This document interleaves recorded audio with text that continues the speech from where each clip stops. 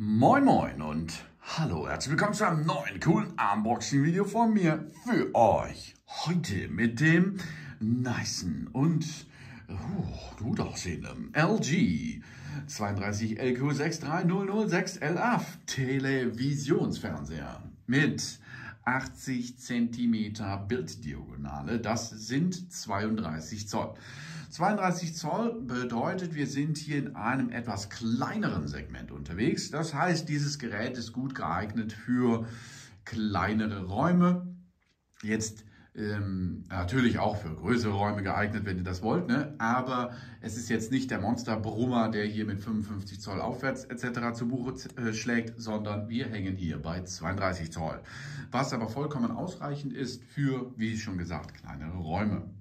Und auf dem Markt selber gibt es kaum in dieser Größe Smart TVs. Das hier ist aber einer. Yeah! Wenn ihr also einen Smart TV haben wollt, mit einem guten Bild und auch noch Full HD, dann ist das hier eine sehr gute Wahl.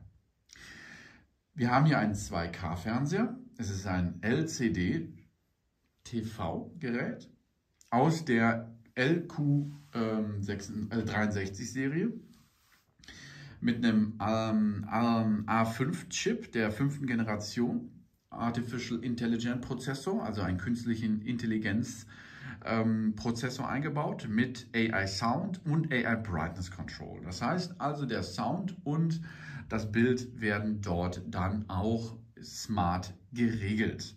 Wir haben eine gute HDR-Unterstützung mit HDR10 Pro und HLG. Es ist ein Smart Televisionsgerät mit WebOS 22 und kann demzufolge auch Google Assistant, Alexa und AirPlay 2 in HomeKit verwenden. HDMI 2.0 ist am Start, HGIG-Unterstützung und ALLM. Ihr seht also, alles nice am Start. Wir haben hier HD High Definition ganz neu können wir dadurch erleben. Die Full HD TVs von LG zeigen nämlich sattere Farben und stellen unsere Lieblingsinhalte noch lebendiger und natürlicher vor.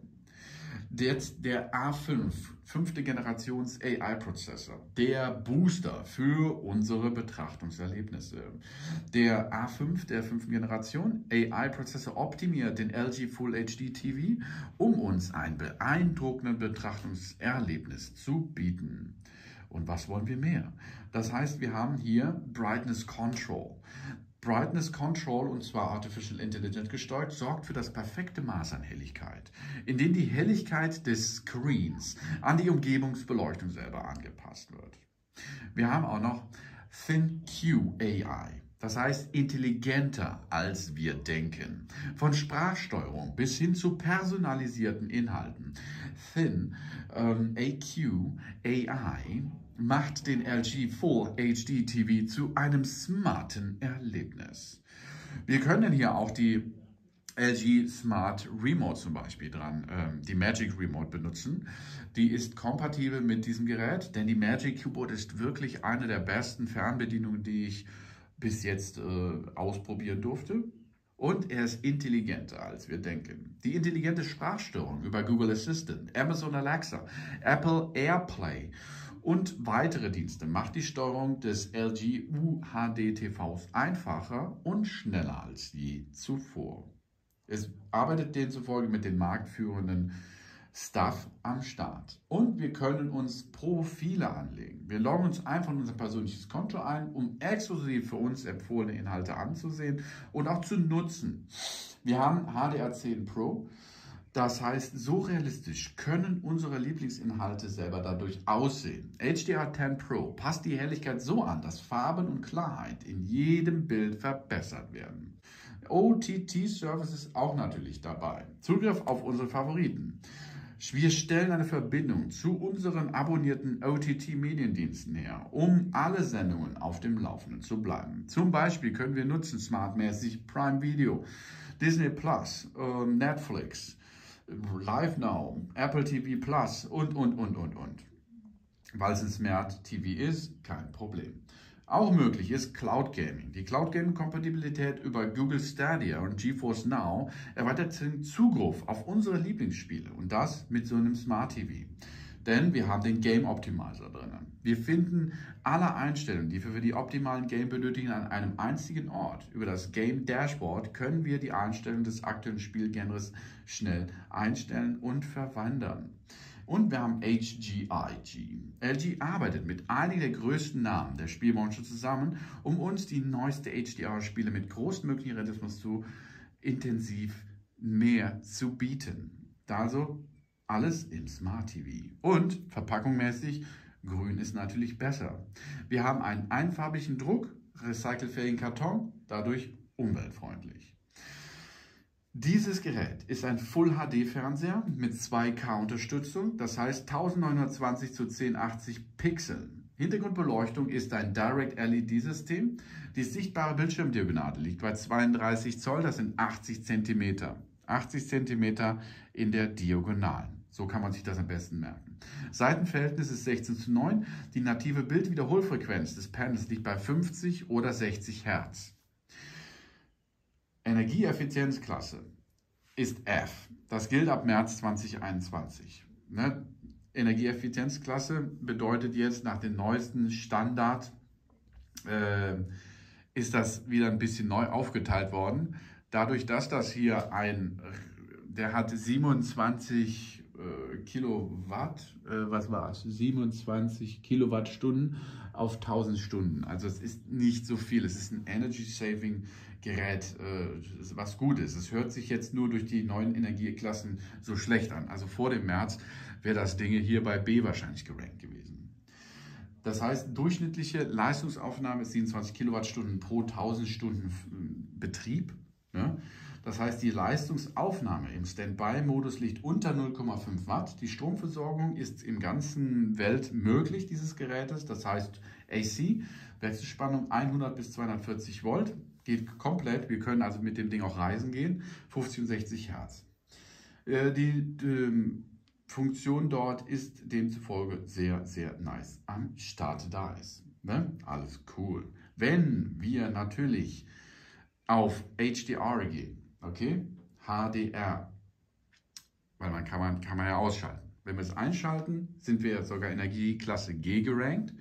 Das heißt 40 Kilowattstunden auf 1000 Stunden Betrieb. Aber dort gilt natürlich auch alles andere. Im Standby-Modus sind wir wieder schön, schön smooth und tief. Die HDR-Unterstützung ist ein Active HDR mit HDR 10 Plus oder Pro. Das heißt 2K und HLG auch 2K. Filmmaker-Modus, Unterstützung ist nicht an Bord. Hochskalierung von niedrigen Auflösungsinhalten ist eine Resolution Upscaler. AI Brightness Control ist dabei. HDR Tone Mapping, Dynamic Tone Mapping, Autokalibrierung mit Zugriff auf den LUT-Niveau ist nicht möglich. Der Prozessor ist ein Alpha 5 Generation 5 AI Prozessor. Wir haben Lautsprecher integriert, 2.0 Sound mit 10 Watt, 5 Watt je Kanal zwei Stück also. Dann die abstreichende Lautsprecher ist nach unten abstrahlend, sprich gegen, gegen den Boden und dann zu euch. Wir haben AI Sound mit Virtual 5.1 Upmixing. Dolby Atmos ist er nicht fähig. Visa Wireless Speaker Audio für kabellose High-Res Verbindung ist auch nicht möglich. Gaming. Entweder G-String Kompatibilität? Nein. HDIG-Kompatibilität für überzeugende HDR-Darstellungen in Spielen ist möglich. Das heißt also, auch dieser Smart TV hier ist bedingt natürlich für Normalos in Spielen absolut täglich möglich zu spielen, auch über dieses Gerät. Ist möglich, ganz klar. Nur die Pros werden wahrscheinlich sagen, ich brauche meine 120 Hertz oder so. Nee. Wir haben kein AMD FreeSync. Äh, wir haben ein Game General Game Optimizer. Das Smart TV selber ist mit der Plattform WebOS 22 ausgestattet. Es kann über ähm, Amazon Alexa laufen, kompatibel zu Apple Pay und äh, Apple Play und Apple HomeKit, kompatibel zu Google Home, zu LG ThinQ, Google Assistant und komp kompatibel zu Amazon Echo. Wir haben hier eine normale LG-Fernbedienung mit zwei AAA-Batterien, das sind die kleinen Schnuckis, die AAA mit AAA. Es ist kein Hands-Free Voice Control möglich. Wir haben die Menüsprache in Deutsch, Englisch und 35 weiteren Sprachen. Jetzt geht es darum, was haben wir für einen Tuner-Typ drin. Wir haben einen Single-Triple-Tuner. Das heißt, D, V, B, T2, C und S2 sind möglich. Ein Triple Tuner kann im Prinzip alles. Wir haben die Möglichkeit, ans Kabelnetz unseren Fernseher anzuschließen. Wir haben die Möglichkeit, ans Satellitennetz uns anzuschließen, ne, also Satzschüssel. Und wir haben die Möglichkeit, über Antenne zu empfangen. Aber natürlich digital. Watch and Record ist nicht möglich, Timeshift ist möglich, Pausieren, Fortsetzen von TV-Sendern, zeitversetzt Fernsehen ist möglich, EPG, elektronische Programmführung, ja, für acht Tage, also immer acht Tage, nicht nur für acht Tage, dann hört es auf, sondern für acht Tage. Ähm, HBB-TV, Nutzung interaktiver Anwendungen wie zum Beispiel Mediatheken ist möglich, Aufnahme von TV-Sendern auf externen US-Speicher ist auch möglich. Ergo USB-Gerät dran und Aufzeichnung ist möglich. Anschlüsse. Wir haben ein LAN, Local Area Network Ethernet Kabel Anschluss. Das heißt, wir können es auch kabelgebunden an unser Internetrouter anschließen. Wir haben einen digitalen optischen Ausgang. Das ist äh, Lichtwellenleiter, ICI-Slot, um HD Plus TV zu gucken mit einer Steckkarte. HDMI-Anschlüsse sind zwei Stück da, die HDMI 1.4er, zwei Stück. Dann haben wir RRC-Unterstützung, Audio Return Channel, Übertragung von Audio über den Rückkanal, ist eRRC und LG Simplink. USB ist ein Anschluss dran und die kabellose Verbindung zu unserem Wi-Fi-Netzwerk funktioniert mit dem Standard 802.11 AC und Bluetooth Version 5.0. Die Abmessungen mit dem Standfuß zusammen liegt bei 73,6 zu 46,4 zu 18 cm. Gesamt wiegt dieser Freund hier mit Standfuß 4,7 Kilo. Also ihr könnt uns merken, 5 Kilo ungefähr. Ohne ist ein bisschen weniger. Ne? Der Standfuß selber wiegt aber kaum was. Wir haben eine Faserkompatibilität. Das ist der, ähm, der Standard, der bei Wandhaltung für TVs anliegt. 200 zu 200. Und die Abmessungen äh, sind kompakt, aber vernünftig am Start.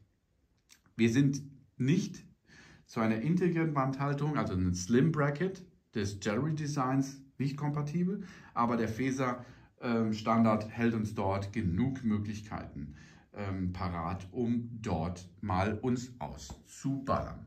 Das ist der wirklich gute und für den kleinen Gebrauch gedachte 32 Zoll LG Full HD TV LQ6 III. Kommen wir zum Auspacken von diesem angenehm kompakten Gerät. Kompakt ist schon was größer, ne? aber es ist jetzt nicht der Monsterklopper so für den, für den Wohnbereich, für das Riesenteil, das Riesenklopperding. Heute Standard ist wirklich schon 55 Zoll geworden. Echt übelst. Ich bin doch aus so einer Generation, wo das hier groß war. oh yeah. So, verpackungstechnisch sind wir hier am Start und haben es wirklich schön. Es ist recycelte Verpackung. Mal gucken, ob LG das drinnen auch weiterführen wird. Wir öffnen und ich sehe schon Styropor. Also damit sind sie schon mal raus mit dem nachhaltigen Superverpacken. Hm, schade drum. Weil da hätte man jetzt richtig was bauen können. Man hätte alles hier schön auf Karton gehen können oder auf Pappe, denn heutzutage gibt es dort gute Papplösungen. So, zwei Füßchen, das sind wirklich komplett aus Kunststoff, die Füßchen. Die Füßchen haben unten aber noch einen Stand, Gummis, zwei Stück je Füßchen sind mit einem L und einem R betitelt. Ne, sind sie nicht. Das heißt also, sie werden identisch sein. Das heißt, wir können sie einsetzen, wo wir das möchten. Aber, also unterm Fernseher natürlich. Ne? Hm. Dann haben wir ein Ladegerät in einer wiederverschließbaren Tasche am Start. Das hier ist mit einem Euro-Stecker versehen. Der Euro-Stecker ist sogar 90 Grad ge, ähm, geschwabbelt, das ist gut. Es ist ein SABS-Steckersystem mit allen Zertifizierungen, die ich jetzt hier lesen kann. 2,5 äh, Ampere, 250 Volt hält er also aus.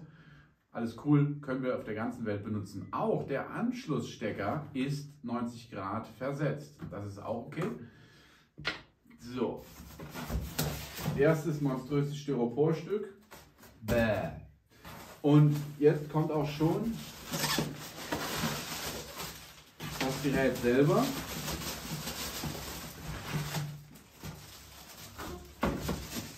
So.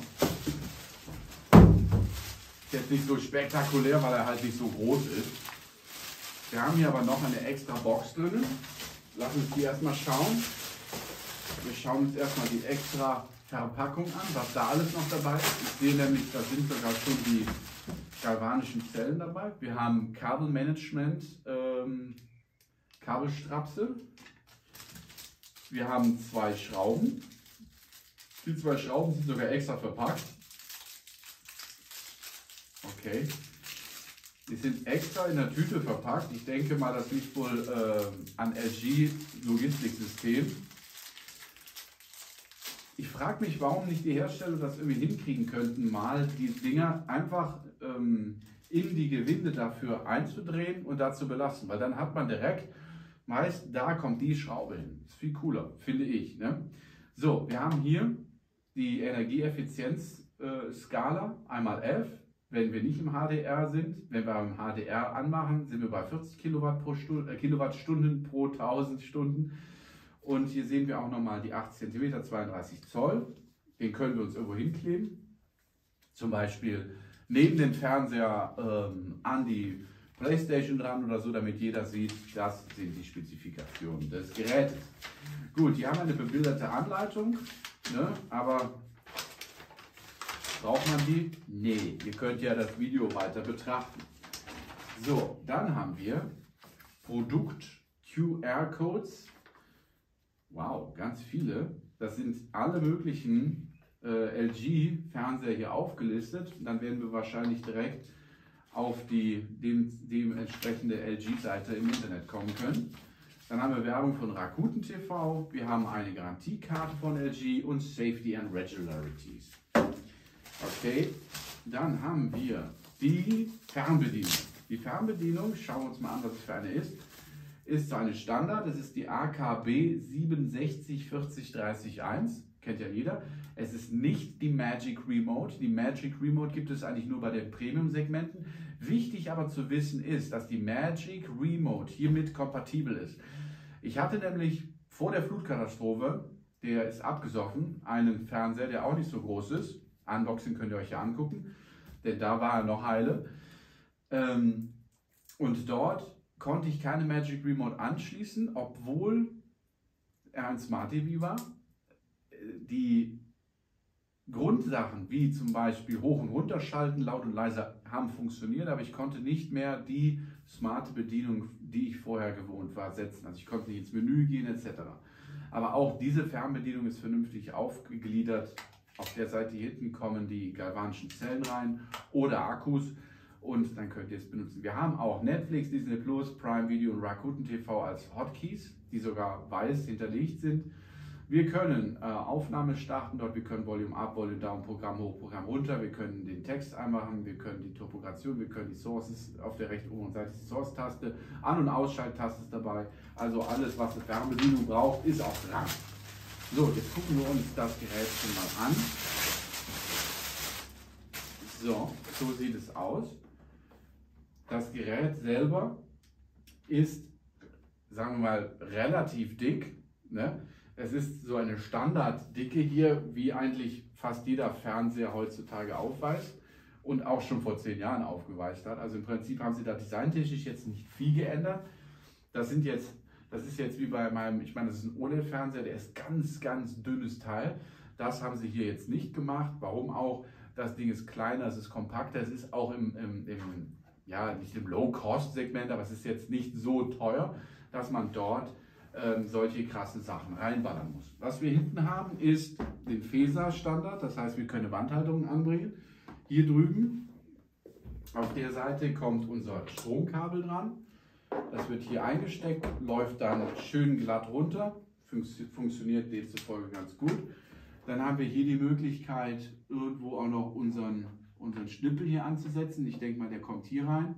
Ne, den kann man wohl hier reinsetzen und dann kann man den so, so, so, so nutzen. So würde ich mir das vorstellen. Dann haben wir hier auf der Seite haben wir die Möglichkeit, unsere Satellitenkabel und unsere Kabelkabel einzusetzen. Okay. Hier haben wir den LAN-Port, kommt das LAN-Kabel rein. Hier kommt der optische Port. Einmal HDMI auf der Rückseite HDMI und einmal auf der HDMI auf der Seite, um dort besser dran zu kommen und einmal USB. Hier ist auch noch das CE Plus ähm, Segment, das heißt, hier kann unsere CI-Karte rein. Alles dabei, was man so braucht. So, jetzt zum Anschluss unserer Füßchen noch. Die Füßchen haben eine, ach hier unten ist noch ein Knopf, ne? Knöpfli. Damit können wir uns dann auch manuell navigieren und zwar unter dem Gerät. So, unsere Knöpflis kommen so rein, die werden verschraubt. Ich schau mal kurz, so passen sie ganz gut und so passen sie gar nicht. Das heißt, ihr habt nur eine Direktion, wo die Füßchen drankommen. Die verschrauben von unten dann mit, äh, mit der Schraube und dann haben wir dort den Fernseher auch schon standhaft hingesetzt. Ihr könnt das auch ohne Schraube machen, nur dann dürftet ihr den Fernseher nicht mehr bewegen und das wäre irgendwie doof, ne? Na guck mal, dann wackelt der auch so rum, keine gute Idee. Aber hier haben wir nun alles.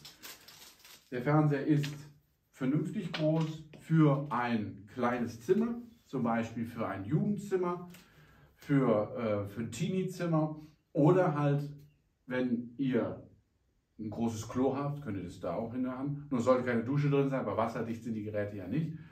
Und das Einzige, was wir noch machen sollten, ist hier die Schutzfolie ab, denn da ist immer so ein Schutzfolienfreund drum. Das ist immer ein bisschen fummelig.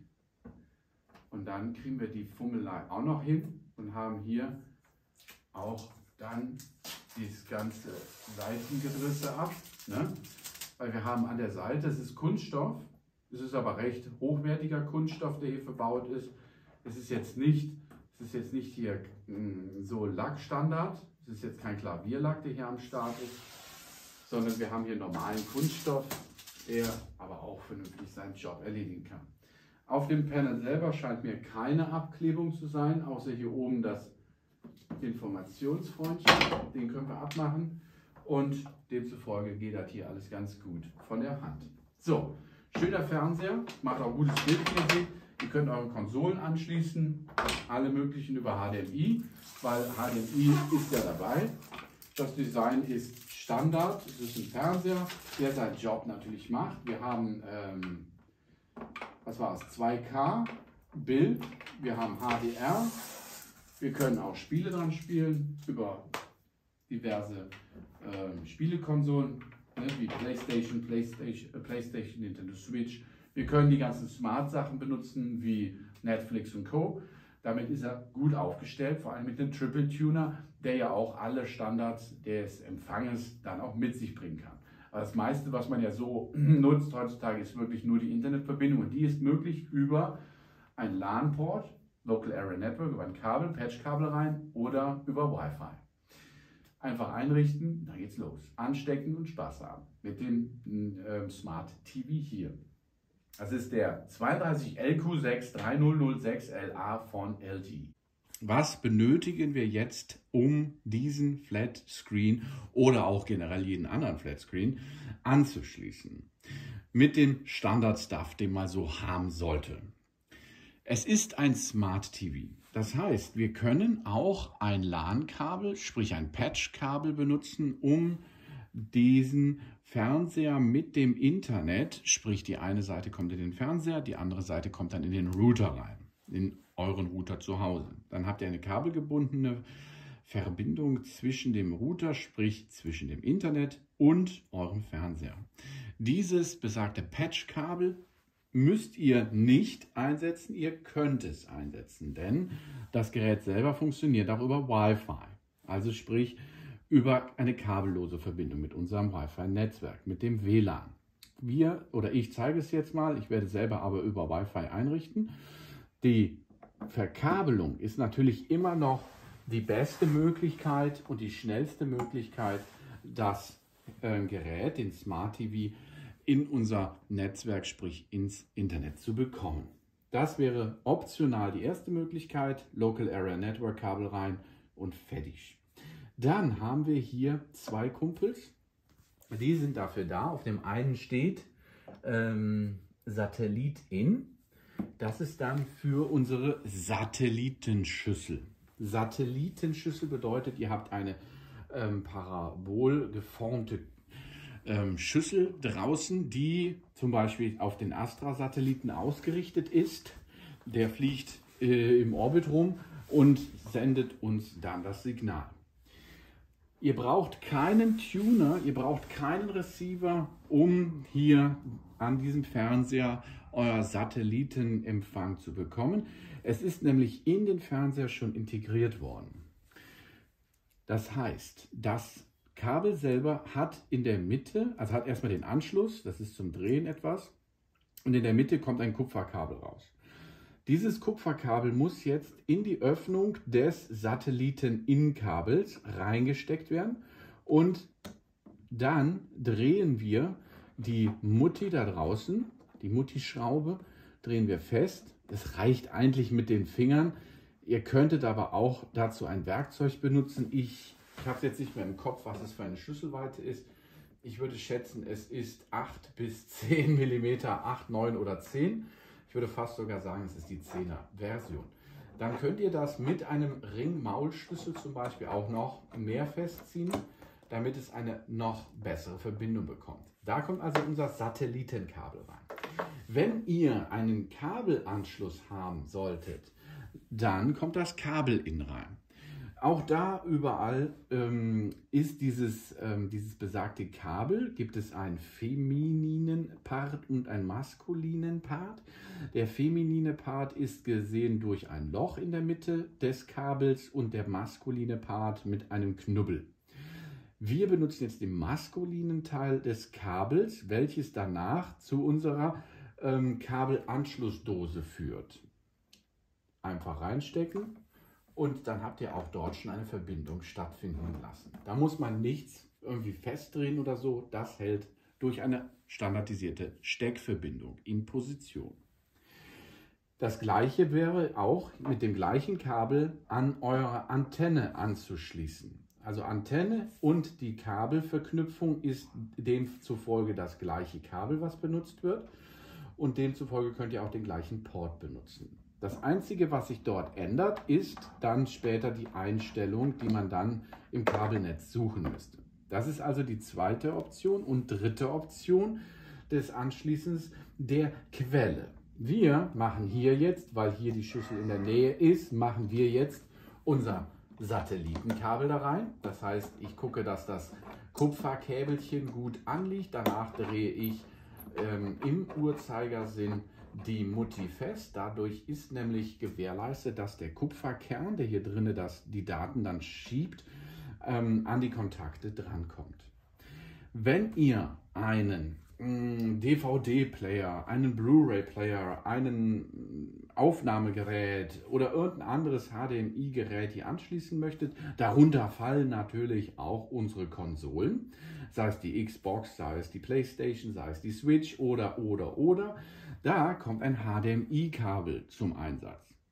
Das HDMI-Kabel ist ähm, etwas geformt mit Ausbo äh, Einbuchtungen an den Seiten. Ihr könnt die also nicht beidseitig reinschieben, sondern müsst gucken, wie rum ihr das setzt. HDMI-Anschlüsse haben wir an diesem Gerät zwei Stück. Eins für hinten, das ist der HDMI 2 und der HDMI 1 ist hier an der Seite. Dort kann man nämlich gut an die Seite andocken. Das heißt, Konsolenanschluss, wenn es stationär eigentlich immer hier gemacht werden, ist einfach das HDMI-Kabel benutzen, was hinten ist. Konsole auf der anderen Seite auch mit dem HDMI-Kabel verbinden. Schon habt ihr eine HDMI-Verbindung zum Fernseher hergestellt.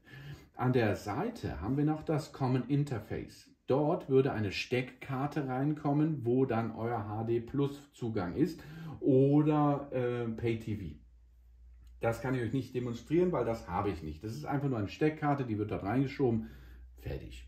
Wenn ihr einen USB-Datenspeicher hier einschieben wollt, dann habt ihr noch einen USB-Slot frei. Also USB rein, schönen Tag noch. Und dann als letztes brauchen wir natürlich noch eine Stromversorgung. Dafür haben wir ein mitgeliefertes Stromkabel Nochmal mitgeliefert bei den Fernsehern wird eigentlich nur das Stromkabel. Das LAN-Kabel, HDMI-Kabel, Satellitenkabel oder Antennenkabel bzw. Kabelkabel müsst ihr demzufolge extra erwerben. Denkt daran. Stromverbindung wird auf dieser Seite des Fernsehens hergestellt. Ansetzen, Stromverbindung ist damit hergestellt. Die andere Seite des Kabels kommt natürlich in unsere Steckdose. Und nun haben wir unseren Fernseher angeschlossen. Um jetzt die Erstinstallation unseres LG Smart Flatscreen Freundes durchzuführen, benötigen wir erstmal natürlich alle Verbindungen hinten, haben wir gesetzt.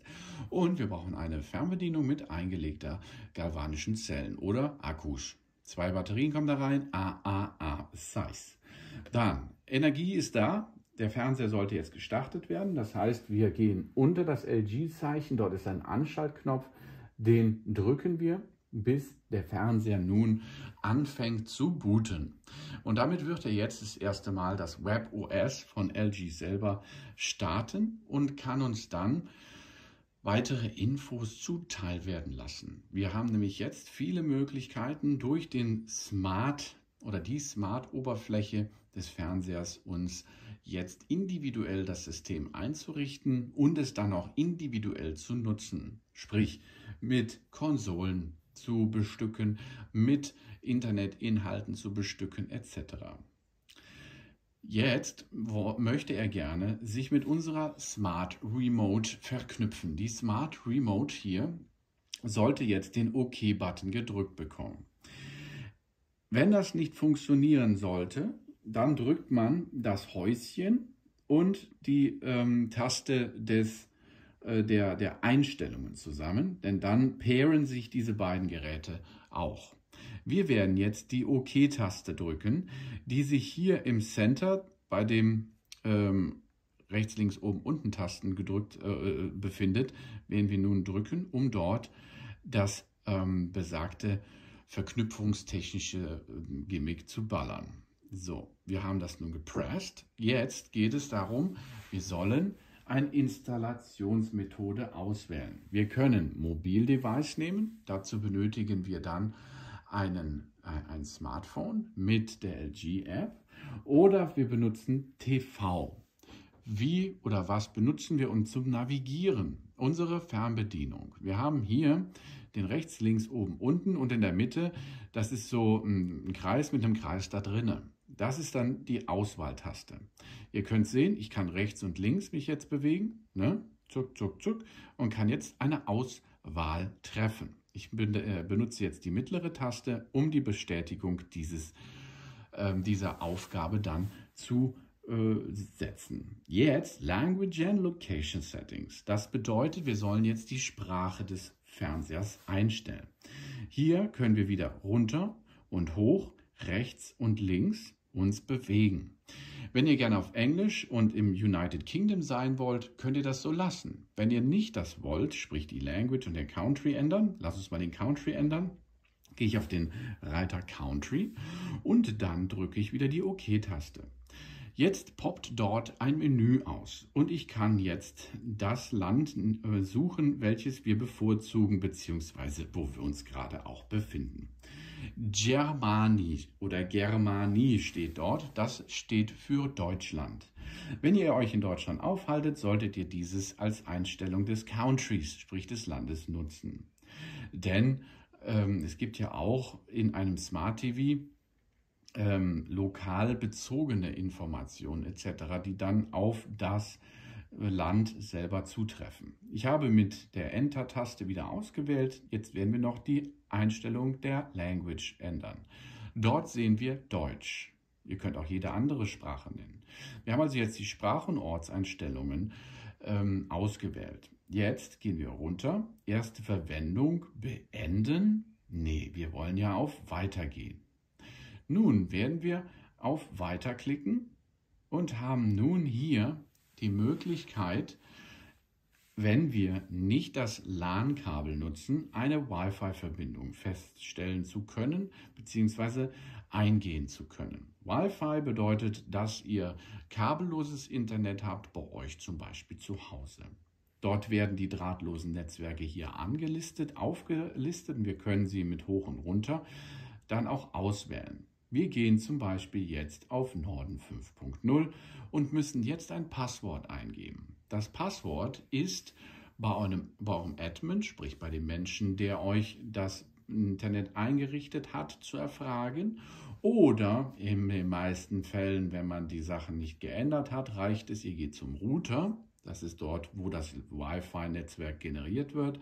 Dreht ihn um und unten steht meistens das Passwort drauf. Was aber eigentlich nicht so sein sollte, weil dann kann jeder in euer Pass, äh, in euer Wi-Fi-Network eindringen. Alternativ wäre natürlich jetzt auch die Möglichkeit, das zu überspringen. Da geht man hier oben in die Ecke und kann dann über das LAN-Kabel dann das Internet beziehen. Oder ihr verzichtet sogar darauf und würdet hier auf Überspringen gehen und würdet beide Sachen nicht wählen. Das geht natürlich auch. Keiner zwingt euch in einem Smart TV das Internet auch zu nutzen. Nur euch muss klar sein, wenn ihr das Internet nicht nutzt, habt ihr viele Optionen, die ein Smart TV mit sich bringen, gar nicht zur Verfügung. Ich werde demzufolge jetzt uns mal ins Drahtlosnetzwerk, ins Wi-Fi-Netzwerk von dieser Location hier einwählen mit dem Passwort. Auf geht's. Ich habe jetzt mein Passwort eingegeben. Ihr seht, ihr könnt euch hier bewegen, nach rechts und links, nach oben, nach unten und durch die Auswahltaste dann auch die Auswahl tätigen. Hier drüben haben wir noch die Möglichkeit, das Layout auf Deutsch und Englisch zu ändern. Dort Sonderzeichen, Sonderzeichen und hier ist dann Shift, sprich wir können es dann auch vergrößern. Also, ne, so meine ich das jetzt. Danach gehen wir nach oben, bis wir auf das Passwort kommen, drücken wieder die Bestätigung mit der Enter-Taste und können dann die Eingabetaste nutzen, um weiterzuführen. Wir kommen jetzt also in unser Wi-Fi-Netzwerk rein. Nun haben wir hier die allgemeinen Geschäftsverbindungen. Hohoho.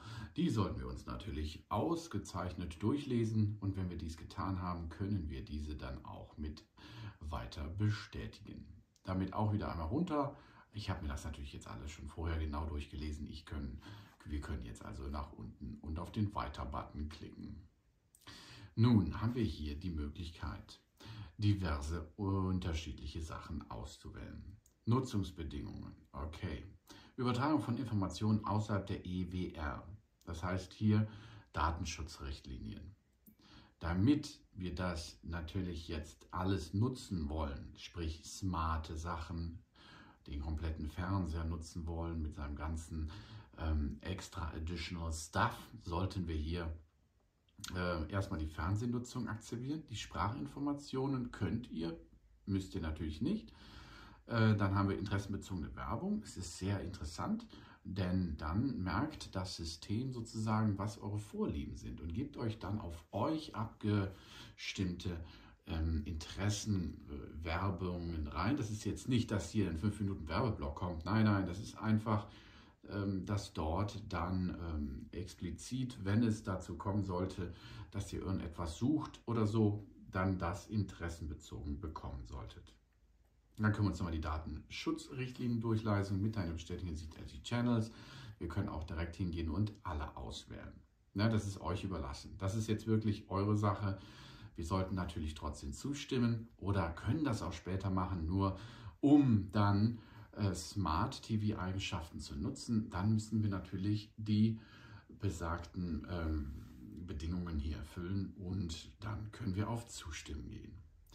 Einstellungen überprüfen. Wählen Sie ein Element aus, das wir ändern möchten. Automatisch angeschlossene Geräte können mit dem LG TV Fernbedienung gesteuert werden. Das müssen wir auch noch wissen. Und hier können wir jetzt gucken, ähm, wie er genutzt werden soll. Wir können auswählen, keine oder nur TV. Aha, da ist ja jetzt nicht viel zum Auswählen. Äh, ja, äh, dann ist das jetzt nur ein TV oder keine. Ja, dann sollten wir vielleicht nur TV wählen. Äh, ja. dann Fernsehmodell. Installationsmethoden unseres Fernsehers sollten wir nun auswählen. Wir haben einmal die Möglichkeit der Wandhalterung, das ist der rechte Auswahlbutton, oder Ständer. Ständer bedeutet, die Füßchen sind drunter, wie bei uns hier. Hier sind jetzt Füßchen, das heißt, wir benutzen Ständer. Dadurch ist nämlich der Fernseher hm, wird er ein wenig anders reagieren, zum Beispiel beim Sound abgeben und eventuell von der Blickrichtungsausschwabbelung äh, könnte das sein, dass er es vielleicht ein bisschen verändert. Wir machen Ständer, wenn ihr den Ständer genutzt habt. Jetzt geht es darum, eine Sendereinstellung durchzuführen. Das war das, wenn wir hinten entweder das Antennenkabel angesetzt haben, hier seht ihr auch schon, wie eine Antenne ungefähr aussieht, die Digitalantennen sind ja auch noch ähnlich aufgebaut, Kabelanschluss, das heißt, wir haben eine Kabeldose an unserem Bereich und oder Satellit. Wir können, wie ihr seht, alle drei Sachen auswählen. Dann würde er einen Suchlauf über alle drei durchführen. Dem ist aber nicht so. Wir haben in dem Fall nur Satellit momentan, weil Kabel haben wir abgemeldet. Das kostet ähm, fortlaufend Geld. Und Antenne, ja, das haben wir auch nicht mehr. Also Satellit würde jetzt hier ausgewählt werden. Danach wird er nämlich dann einen Sendersuchlauf durchführen. Das heißt, wir gehen dann auf das System, was ihr fahren wollt, worüber ihr schauen wollt, Antenne, Kabel oder Satellit. Oder ihr könnt auch gar nichts auswählen. Wenn ihr zum Beispiel das Gerät nur als Smart TV benutzen möchtet, ne, dann wäre das auch möglich. Wir benutzen es jetzt aber nach als Satellitfreund. Also weiter. Jetzt geht es darum, wenn ihr Satellit auswählt, dann gibt es, ähm, ja, es gibt schon mehrere, ähm, mehrere Freunde oben im Orbit am Rumschippern, aber die meisten, die wir nutzen in Deutschland, ist schon der Astra-Satellit. Es gibt noch SkyD und andere Anbieter. Lass uns bei dem Astra bleiben, denn darauf ist unsere Schüssel nämlich ausgerichtet. Jetzt können wir hier auswählen die Satelliteneinstellungen. Wir haben eine LNB-Frequenz, lalala, die ist aus, ein Astra 19,2e, LNB-Frequenz ist 957 C zu 10600, DISEQC. Satelliteneinstellungen oder wir können den Transponder bearbeiten. Das heißt, hier wäre eine Transponderbearbeitung möglich, um dort unterschiedliches einzustellen. Wir können auch hier unterschiedliche Satelliten zum Beispiel einstellen und auswählen. Es gibt ja auch Satellitenschüsseln, die sich eventuell anpassen können auf unterschiedliche Satelliten. Wir wählen jetzt das, was es nur gibt. Das heißt, unsere Schüssel ist auf dem Astra-Satelliten ausgerichtet. Weiter. Und nun können wir eine Astra 19,2 Suche machen oder eine vollständige Suche. Natürlich kommt bei einer vollständigen Suche ein viel längerer Zeitraum zu machen, aber wir haben auch ein paar Senderchen mehr. Die Astra 19.2 Suche werden wir jetzt hier durchführen. Ne, das heißt also, hier können wir auch noch leicht die Satelliteneinstellungen verändern. Nun wird ein Sendersuchlauf durchgeführt. Das heißt, der wird jetzt ähm, die Sender sozusagen schon auch vorsortieren und diese dann abrufen von dem Astra-Satelliten, den wir ausgesucht hatten. Es wird auch so gehen, ähm, wir können auch, ne, deutsche Kanalliste kann man nutzen oder wenn ihr andere äh, äh, anderssprachige Satelliten noch auswählen könnt, würden hier merken. Bei dem immer mit weiter dann und jetzt suchen wir uns die nämlich automatisch dann raus. Wenn ihr jetzt auf Kabel gesetzt hättet, wäre das ähnlich. Beim Kabelnetz holt er sich das dann auch aus dem Kabelanschluss heraus und wird dort dann auch die Sender heraussuchen, die bei euch auch lokal verfügbar sind. Und beim, ähm, beim besagten, äh, äh, äh beim besagten normalen äh, Standardgedrisse, wie es früher auch immer war, sprich die, die Antenne, könnte man dort auch ähnlich vorgehen. Also ihr seht, das ist alles ungefähr gleich. So, wir haben jetzt hier das oder der Programmmodus wurde auf den Satelliten festgelegt. Also bestätigen wir mir, okay. Wir sehen, wir haben im DTV-Netz, Satelliten-DTV-Netz 659 Sender gefunden, im Radionetz 29. Und LG-Channels haben wir 147 auch noch gefunden, denn LG hat auch noch seine eigenen Senderbatterien da. So, das heißt, damit haben wir auch schon den Sendersuchlauf abgeschlossen. Das geht heutzutage viel schneller als früher.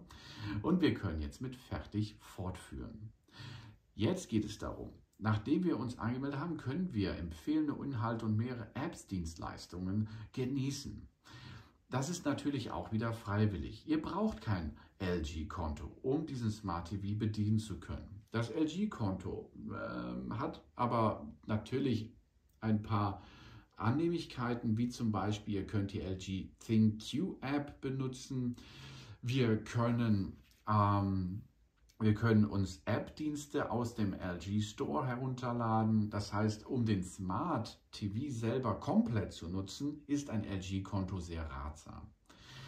Wir können das mit der LG ThinQ-App von unserem Smartphone zum Beispiel machen, die Anmeldung, oder mit dem mobilen Web anmelden. Da würde hier ein Browser wohl erscheinen. Lass uns das mal kurz machen. Das heißt, wir werden jetzt über das Wi-Fi in unserem Fall dort draufgehen, mit der mobilen Web anmelden. Wir rufen die URL mit einem PC oder einem mobilen Webbrowser selber auf. Das heißt, er wird uns nicht hier jetzt den Webbrowser zeigen, sondern wir müssten dafür unser Smartphone benutzen oder unseren PC. Das wäre jetzt de.lgtvlink.com. Oder Schritt 2, wir geben dann den Code ein, sprich, wenn wir die Homepage aufgerufen, dann können wir dieses dort dann nämlich nutzen. Dieser Code wird andauernd erneuert, ihr braucht also meinen Code gar nicht ausprobieren. Wir können uns aber auch mit der Fernbedienung selber anmelden. Das heißt, wir können jetzt hier Anmeldung über den Fernseher selber mit dem LG-Konto, das ein LG-Konto neu erstellen. Wir können uns mit Google anmelden, mit Facebook, mit Amazon oder mit Apple. Diese Dienste, das sind jetzt nicht die Dienste, die wir dann dort direkt verknüpft haben, die würden wir dann erst sozusagen mit diesem Fernseher hier verknüpfen. Das heißt, wir können uns jetzt hier mit unserem LG-Konto anmelden, welches wir vorher zum Beispiel bei einem anderen LG-TV schon gehabt haben oder wir erstellen eins. Wenn wir eins erstellen, müssen wir natürlich unsere Daten dort geben. Ne? Ihr seht hier die Nutzungsbedingungen, Übertragung außerhalb der EW, müssen wir dort auch wieder untersetzen, weil jetzt wird ja hier dann auch Daten ausgetauscht. Wir geben eine E-Mail-Adresse an, wir geben ähm, dann ein Passwort ein, was uns an die E-Mail-Adresse geschickt wird und wir sollten ein Geburtsdatum noch eingeben. Danach können wir fortfahren, wenn wir uns mit dem Fernseher und der LG-Konto verknüpft haben. Es ist aber kein Muss, das ist auch wieder optional. Nur um den kompletten Smart TV vernünftig nutzen zu können, ist es sehr ratsam, dies durchzuführen. Wenn ihr dann optional eine Anmeldung mit der LG-App gemacht habt oder es manuell gemacht habt, dann kommt ihr ins nächste Menü. Das heißt nun, die Ersteinrichtung ist dadurch abgeschlossen. Installation der LG-empfohlenen Apps können wir nutzen. Das heißt, wir gehen auch hier wieder vor und bewegen uns mit den Cursor-Tasten rum. Und hier können wir dann zum Beispiel schon Dienste installieren, die wir gerne hätten, wie Alexa, Prime Video, Join, LG Channels, Rakuten oder Chili und noch mehr oder gar nichts davon. So, Installation der App auswählen und nun haben wir, glaube ich, auch fast geschafft, Leute. Wir werden jetzt gleich wirklich mal reinkommen ins System, um unseren Smart TV, Smart TV nutzen zu können. Natürlich könnt ihr diese ganzen smarten Sachen auslassen, dann wäre es aber schade, denn dann äh, ja, können wir den Smart TV nicht komplett nutzen. Hier geht es jetzt darum, die ausgewählte App möchte Wi-Fi ähm, einschalten, muss verwenden. Ihr könnt das hinzufügen oder nicht. Ich habe jetzt ausgewählt, dass die YouTube-App runtergeladen wird und ihr seht, das geht recht fix. Das hat natürlich auch mit eurer Geschwindigkeit des Internets zu Hause zu tun. Und die App ist jetzt zum Beispiel auf unserem Smart TV installiert worden. Gut, dann können wir reingehen in unser Fernsehchen. Wir sind jetzt direkt auf die ähm, Oberfläche gekommen. Als allererstes sehen wir nun hier unsere komplette Smart TV Oberfläche selber. Ja, die ist hier vor uns und wir können jetzt auswählen, was wir dort gerne machen möchten. Wir haben diverse Sachen zur Verfügung. Das heißt, wir können jetzt hier ähm, sehen erstmal, dass wir hier große Kacheln haben, die wir dann ansteuern können. Ansteuern genau das gleiche wieder. Wir bewegen uns rechts und links, oben nach unten und auswählen mit der Taste in der Mitte. Wir gehen jetzt mal durch. Es sind noch mehr Apps vorinstalliert, wie ihr sehen könnt. In den Apps ist also bedeutend mehr drin als ähm, als nur das YouTube, was wir gerade runtergeladen haben. Ne, wir haben hier Netflix, Join, LG Channels, Rakuten Disney Plus, Apple TV, RTL Plus, Public Value, YouTube haben wir gerade runtergeladen. Dann können wir auf die Apps gehen, Sport, Home, Webbrowser, Media Player, Alexa oder Explore Google Assistant. Dann haben wir die App-Liste, die wir bearbeiten können über diesen Button hier. So können wir nämlich diese dann zum Beispiel intelligent bearbeiten. Die werden dann automatisch in der Reihenfolge sich ändern, indem wir ähm, etwas benutzen. Wir können natürlich auch auf Live-TV gehen. Ne? Live-TV, ups, jetzt habe ich mich verklickt. Wenn ihr euch mal verklickt, auch kein Problem. Wir haben ja eine Fernbedienung diese Fernbedienung gibt es ein Häuschen. Damit kommen wir immer wieder zum Screen zurück, zum Homescreen. Beziehungsweise, wenn ihr nur eine Fläche zurück wollt, geht ihr auf die Zurück-Taste. Diese befindet sich dort. Gut, was können wir jetzt machen? Lass uns mal irgendetwas hier durchziehen. Momentan beliebt, Free TV und LG Channels. Wir können uns aber auch hier oben in die rechte Ecke bewegen und dort auf das Live TV gehen.